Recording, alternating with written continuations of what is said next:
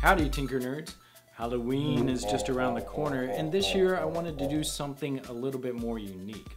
So let's try to create a live interactive projection using completely free software. You can find links to the software and hardware used in this video at the project page below. Alright, let's start tinkering.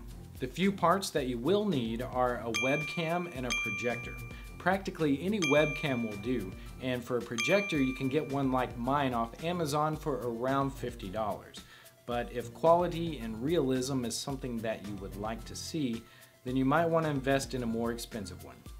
When setting everything up, you want your webcam and your projector to be pointed in the same direction, and you want both of these to be hooked up to your computer.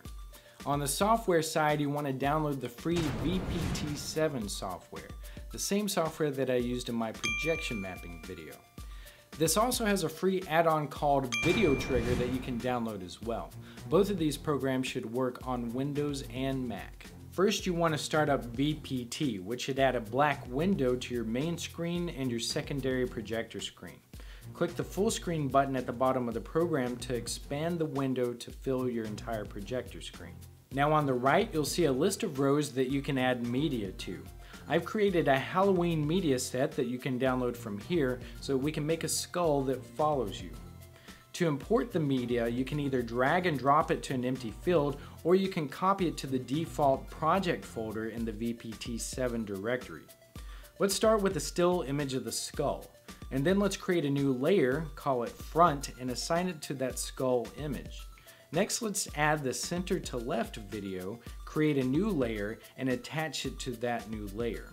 Then add the left to center video and attach it to a new layer, the center to right video and attach it to a new layer, and the right to center video and attach it to a new layer as well. Next, let's check to see if the layers are ordered properly. One should be at the very bottom, followed by two, three, four, and five should be at the top.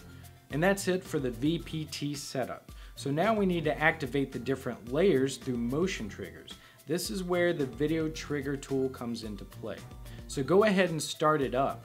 And first you want to click on the video input settings and make sure the right camera is selected and the settings are correct. Then you can click memorize background now to freeze the view into memory. Next we need to create the first zone.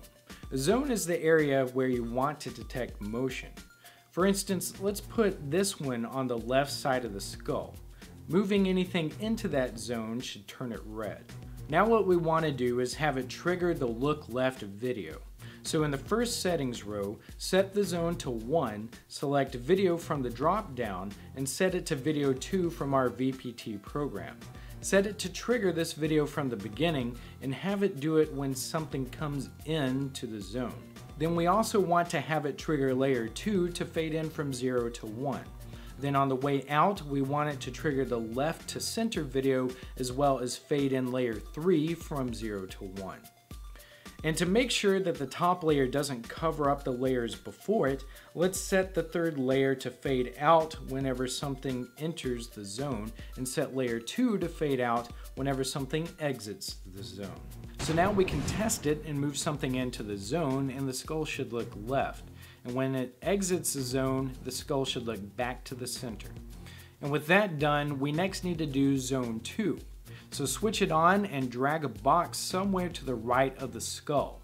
And similar to zone 1, we want to set the zone 2 triggers so that on the way in, it triggers the center to right video, fades in layer 4, and fades out layer 5. And on the way out, we need to trigger the right to center video, fade layer 5 in, and fade layer 4 out. And to make sure layer 5 doesn't cover up our previous layers, let's set it to fade out whenever zone 1 is triggered. Now test it out again and let the creepiness ensue. But wait a second, isn't this supposed to be done at night? And most webcams can't see at night. Well, actually most of them can, but all you have to do is remove the IR filter from inside the camera. To find out more about how to do that, you can visit this link. Feel free to use this technique to create other frightening displays or maybe even some games. And if you want the files for how to do those, you'll have to become a patron of my show at this link. Otherwise, if you got any value out of this show and would like to give some value back, you can become a patron as well, or you can send some bitcoins my way. Alright, that's it for this episode of Tinkernut Labs. For more, go to tinkernut.com, where technology and creativity collide. And have a happy and safe Halloween.